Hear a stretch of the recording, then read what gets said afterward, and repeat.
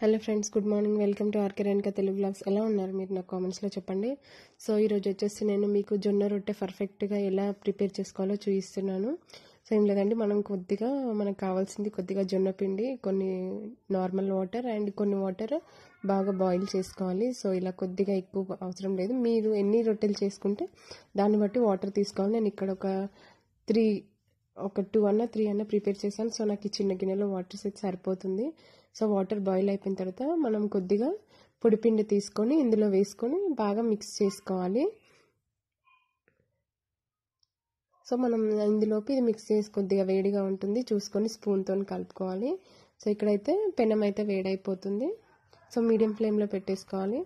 So ఇక్కడ చూసారా నేను కొద్దిగా అయితే పిండి తీసుకున్నాను. తర్వాత మనం ఇందులో నార్మల్ పిండి వేసుకోవాలి. డైరెక్ట్గా ఆ పిండితోని రాదు. అంటే జిగురు ఎక్కువ అవుతుంది.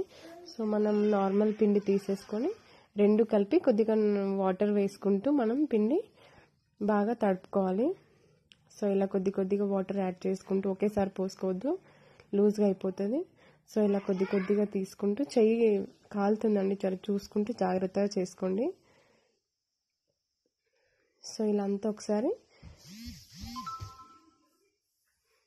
బాగా మిక్స్ ఎంత బాగా మనం పిండి మిక్స్ చేస్తే మనకి రొట్టె అంత బాగా వస్తుంది. సో మనం పిండి అయితే బాగా కలపకపోతే మనకి జొన్న రొట్టె సైడ్లకి విరిగిపోతుందండి. మళ్ళీ పెనం పైన వేసేటప్పుడు కూడా మధ్యలో విరిగిపోతుంది. సో అందుకే మనం మిక్స్ చేయడంలోనే ఉందండి దీన్ని జొన్న రొట్టెకి పర్ఫెక్ట్ అంటే. సో ఇలా బాగా మిక్స్ చేసేసుకొని కొద్దిగా తడి వాటర్ తీసుకొని హ్యాండ్తో ఇలా ఏమంటే ఏమంటారు రౌండ్గా బాల్ లాగా చేసేసుకొని కింద పొడిపిండి వేసుకొని కొట్టడమే. నేనైతే హ్యాండ్స్తోనే కొట్టేస్తాను నేను చపాతీ కర్ర ఏం యూస్ చేయను. చాలామంది ఈ మధ్య ఏమంటారు చపాతీలాగా చేస్తున్నారు. బట్ మా దగ్గర తెలంగాణలో అయితే ఇలానే చేస్తారు. సో చూసారా? పిండి ఇంత బాగా కలుపుకోవాలి బాగా. సో ఇలా రోల్ రోల్ చేసేసుకొని రౌండ్ బాల్ లాగా చేసేసుకొని పొడిపిండి వేసుకుంటూ కొట్టేసుకోవాలి.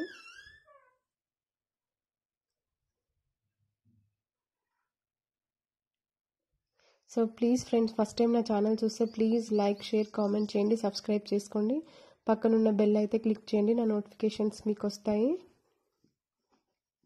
సో ఇలా రౌండ్ బాల్ చేసేసుకొని తర్వాత కింద మనం కొద్దిగా పొడిపిండి వేసేసుకొని రైట్ హ్యాండ్తో కొట్టేసుకోవాలి. లెఫ్ట్ హ్యాండ్ ఇలా మూవ్ చేయాలి రౌండ్గా వస్తుంది షేప్ సో ఇలా నేను చూపించిన విధంగా అయితే మీరు రొట్టె అయితే కొట్టుకోవాల్సి వస్తుంది.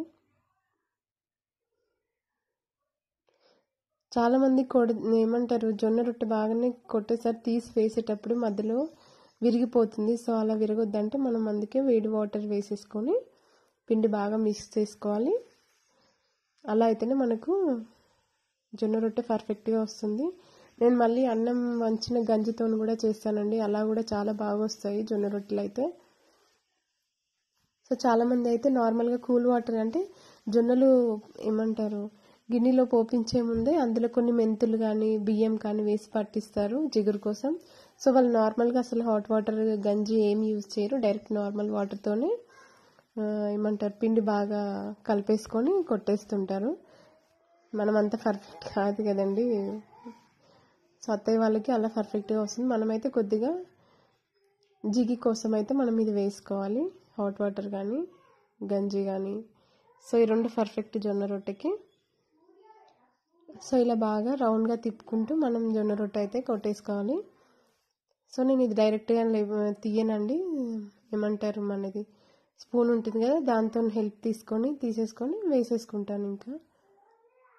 సో వేయగానే మనం కూల్ వాటర్ అయితే ఏమంటారు అప్లై చేయొద్దండి జొన్న రొట్టెకి. ఒక టూ మినిట్స్ అందులో నుంచి పొగలు కనిపిస్తుంటాయి మనకి. సో అప్పుడు మాత్రమే మనం వాటర్ అనేది రుద్దాల్సి ఉంటుంది జొన్న రొట్టెకి. సో వేయగానే మనం కూల్ వాటర్ అయితే రుద్దినట్టయితే కింద అసలు రొట్టె కాలదు. సో అందుకే చెప్తున్నాను. సో నేను హ్యాండ్తో చేస్తారు చాలామంది బట్ నేనైతే ఒక క్లాత్ అయితే తీసుకొని క్లాత్తోనైతే నేను వాటర్ అయితే అప్లై చేస్తాను. సో చూసారా ఎంత మంచిగా పొంగుతుంది జొన్న రొట్టె. మెత్తగా ఉంటుందండి వేడివేడిగా తింటే అసలు. ఏది కూడా దీని ముందుకు రాదు అసలు. సో నచ్చిందా ఫ్రెండ్స్? Thanks for watching